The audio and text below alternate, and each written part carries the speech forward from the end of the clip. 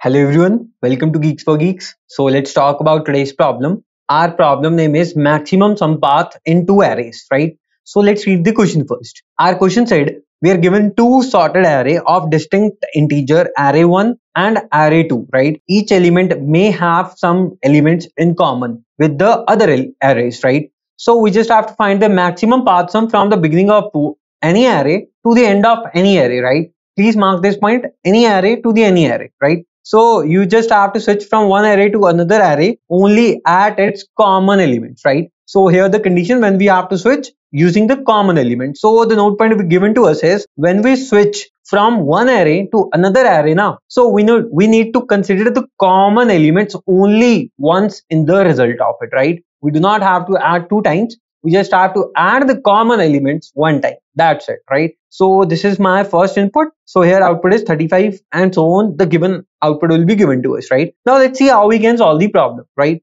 So see uh this is my first array right? Array 1 and this is my array 2 right? So in this case question said i want output 35 right? With the help of these two array i want maximum sum right? I want maximum sum. You have to take care of that. Two arrays are sorted right? So you just you just have to take the array as it is right? So that my answer will be maximum right? And the second condition is if you want to switch to another array so the common elements will be the things. Common element will be that particular part so that we can switch to another array. Common elements right? Okay. Third thing if two things are common while switching that particular element will be considered one time right common element will be add once in the result right? That's it right? Now let's see how we can solve the problem. Okay. Now if you see here let's change the color. So if you see here this is my first array this is my second array so it's sorted right? So what i'm doing is to solve this problem i just make two variables sum1 sum2 right? In sum1 we just add the elements which occur in my array 1 and in sum2 we add the elements which occur in array 2 right? Now see how we can solve this. So see if i am using here now this is the element which is common right? Which occur one time right? So here we have two elements here we have two elements here. Now in this case this is the first thing where you can change the array right? We can change the array but depending upon your need. But my need is maximum sum i want if you want to change you can. But this is the point where you can right? Now if i see here before 7 in the array 1 what's your sum? 2 plus 3 right? In this case what's my sum? 1 plus 6 now when you choose this now right your sum 1 will be 5 and sum 2 will be 6 you want a maximum sum. You have to choose. Either choose max sum 1 either choose sum 2 right? So in this case, what I'm choosing is I am adding 1 plus 5, right? I am taking these two elements because it give me 6, but the array 1 element 2 plus 3 give me 5, right? So in this case, I choose sum 1, right? So I take here answer variable where I'm adding 6, 1 plus 6, right? Now, when it's common, right? Okay, so we just have to add one time in my answer. So that's why I just add one time, right? After that, so these are not common, right? these are not common so after that when you have when you reach to the common element right? Now again whatever your sum 1 and sum 2 will be you just add maximum into your answer right? Now it's time to make 0 right? Because we just have to make another sum 1 sum 2 so that I can compare right? Now if you see here your array 1 element will be give you 0 plus 10 plus 12 right? This will give you 8 right? In this case this is 22 this is 8 what is maximum maximum is 22 right? So what i'm doing is adding 22 into it. Now if you take the sum 6 plus 7 13 plus 22 that will be 35 that's the output right? That's the thing which you have to do it right? So let's see the same intuition to solve example 2 in example 2 right? So if you see here my first pointer will be here.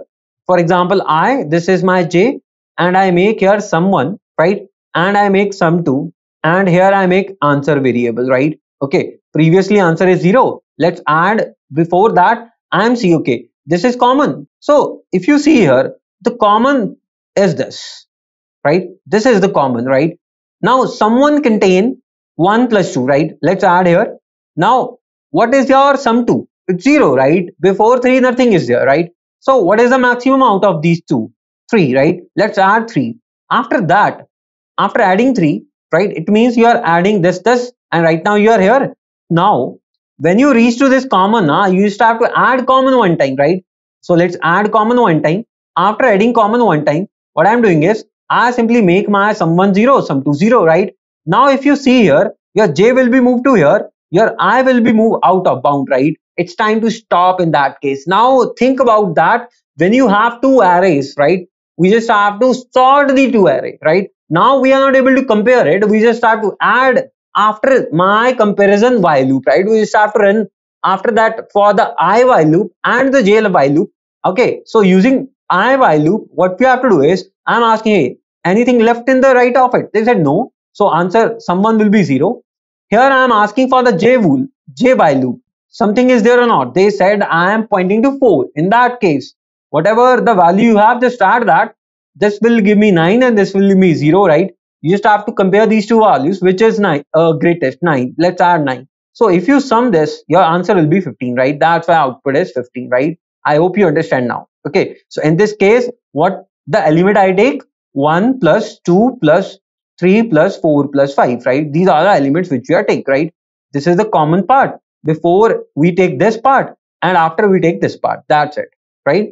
Okay. Now let's see for this case. When we have couple of common elements, in that case, what we have to do, right? So as I said, my i will be this and j will be this, right? Okay. Okay. So in this case, this is the first common point, right? Before that, what is my sum 1? Let me write here, 1 will be 1. What is sum 2 before that? It's 0, right? Now my answer will be 0 initially, right? I just add that particular thing which is greatest than both. So it will be 1. Let's add 1. Now, right now, both are common now. Just add 2 into it. And at the same time, your i will be moved to this case and j will be moved to this case, right? In that particular case, both are common. Yes, both are common. Just add 3 into it, right? Okay. After that, we go one step ahead in i and j both are common again, right? So in that case, again, we just have to add one time, right? After that, we are here, I will be here and J will be here, right? Now it's not common. Now it's not common, right? Now after that, in this case, my answer will be this and let's make your sum 0 and sum 2 0, both 0. Now if you see in the right side of it, we do not have common, right? So here we have 5, let's write here 5 and here we have 10 plus 15. So this is 5, this is 25. We just have to compare which is greatest. So 25 is greater. Let's add 25 into it. What's my answer? It's 34. That's it. That's it. I hope you now understand what we have to do is, right? Okay. So let's do the code part now, right? Now see very carefully uh, as I said in the code part, what we have to do is, let's first, we just have to take the two pointers, right? The first thing is I just make calculate the size of first vector right and size of second vector right that's what we do okay now we take the two pointers the first will be i equal to 0 and second will be j equal to 0 right? And as i said we just have to take the two variables sum1 and sum2 right? Okay. Now we have to take the variable which is answer where we have to store my actual maximum sum right? Okay. Now we have two variables. We just have to do the while loop right? I less than n1 and j less than n2 that's what we have to do. Now we have three cases. Either of both either array 1 ka i will be greater either array 2 ka j will be greater either both are equal right so what i'm doing is i simply compare that ki array 1 and array 2 which is smallest right so if you see in this case okay let's do the dry run for this case so initially my i will be here and j will be here right okay now, in this case, I am asking, hey, please, can you please compare between these two elements? So let's compare that, right? And I am seeing which is smallest. Array 1 is smallest, right? So in 1, we just have to add array 1 k elements, right? So I am adding this, right? So let's do that first. So here I am asking, hey, array and array 1 is smallest. They said yes, right? In that case, 1 plus equals to array 1 of i and at the same time we just have to increment my i right so that's what we have to do we just add one and increment my i to this case right okay after that again i check the while loop right and i'm asking hey are you array 2 greater? They said no. So eh, in this case the second case is either array 1 is greater than array 2 of j right? That's the case. In that case we just have to add that particular element in sum 2 right? Okay. So that's the case of it. And increment my j. Now in the third case it's equal right? It's equal. It's time to make your maximum of sum 1 or sum 2 in variable answer right? So here i make the sum variable right? Uh sorry answer variable and take the sum of maximum out of those right? So here we have 0 i just add 1 into it right? Now after that i know that key there are a couple of elements which is common right? That's why we just have to add here while loop right? Okay. Now what i'm doing is i take the while loop and using j i less than n1 and j less than n2 and that particular while loop will run that much time when we have the common elements right? So let's compare the common elements. If it's common right you have to check that particular part and go into the while loop till it's common right? Okay. Now in that case we know that we just have to add one times. So what i'm doing is i'm directly add that particular element into my answer vector answer variable right? So either add array 1 of i or array 2 of j both are equal now at the same time we just have to increment both right? Okay. And this while loop will works right? So we are here we are here. What's a common? 2 is a common right? Let's add 2 into it. And j will be here and j will be here right? After that your while loop will again run. 3 will be common. Let's add 3 here. And j will be moved one step ahead right? Again it's common right? Let's add 3 into it. And your j will be here and i will be here right? It's a stopping case right now. You have had all the elements till now right so until this you have worked right? You have to work i will be here and j will be here. Now they come back out of the while loop. Before that what i said to you you have to update your sum1 and sum2 to 0 so that we can add the new element into it right? Okay. After that again go to the while loop and i'm asking hey are you both are there now they said yes. Okay. Which is smallest? So this is 0 now which is smallest? 5 let's add into 5 in sum 1 after that i will be reached to this right? Okay after that so we just have to increment my i and we see that it's out of bound right? Your sum 1 will be this and sum 2 will be 0 and we are not compare right now right? So we just have to go for the extra while loop right? So here i just make while. Now i am not able to compare it. Can you please tell me any elements left or not right? So in with this case we just add that particular into it and at the end same thing will for the j part right? Okay.